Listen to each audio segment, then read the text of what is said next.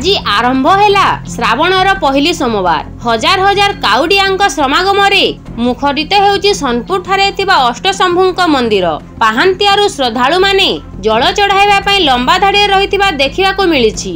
ବିଶେଷ କରି ଲୋକନାଥ ବାବା ସୁବର୍ଣ୍ଣମେରୁ ରାମେଶ୍ୱର ପଶ୍ଚିମ ସୋମନାଥ ଓ ଗୋକର୍ଣ୍ଣେଶ୍ୱର ଆଦି ମନ୍ଦିରରେ ଶ୍ରଦ୍ଧାଳୁଙ୍କ ବେଶ ଭିଡ଼ ଦେଖିବାକୁ ମିଳିଥିଲା। କାଉଡ଼ିଆମାନେ ତେଲ ନଦୀ ମହାନଦୀ ଓ କର୍ପୂର ନଦୀର ତ୍ରିବେଣୀ ସଙ୍ଗମରେ ସ୍ନାନ କରି ଜଳ କଳସୀ ନେଇ ଅଷ୍ଟଶମ୍ଭୁଙ୍କ ବିଭିନ୍ନ ମନ୍ଦିରରେ ଚଢ଼ାଇଛନ୍ତି ସେହିପରି ପବିତ୍ର ତ୍ରିବେଣୀ ସଙ୍ଗମରୁ ଜଳ ନେଇ ଖାଲି ପାଦରେ ଚାଲି ଚାଲି ଜିଲ୍ଲାର ଅନ୍ୟତ୍ର ଥିବା ଶିବ ମନ୍ଦିର ଗୁଡ଼ିକରେ ଜଳ ଚଢ଼ାଇଛନ୍ତି।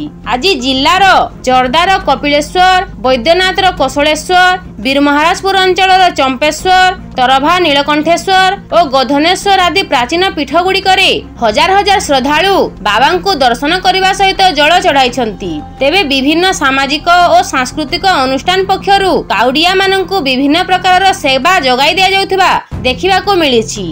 Bureau report B TV Odia.